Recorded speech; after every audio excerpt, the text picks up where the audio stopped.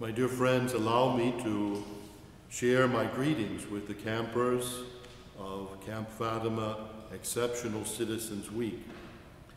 I'm very appreciative that Sergeant Brian Johnson invited me to join you from the Cathedral of the Holy Cross by way of this video message. Although you are not able to be in New Hampshire this week due to the need for everyone to protect their health at this time, you are all champions for doing the best you can to be campers while still at home. This year is different, but we still have the grace of many blessings. Please join me in calling upon the intercession of our Blessed Mother, Our Lady of Fatima, that she watch over you and all of the Camp, Camp Fatima families with love and care, as together we pray, Hail Mary, full of grace, the Lord is with thee.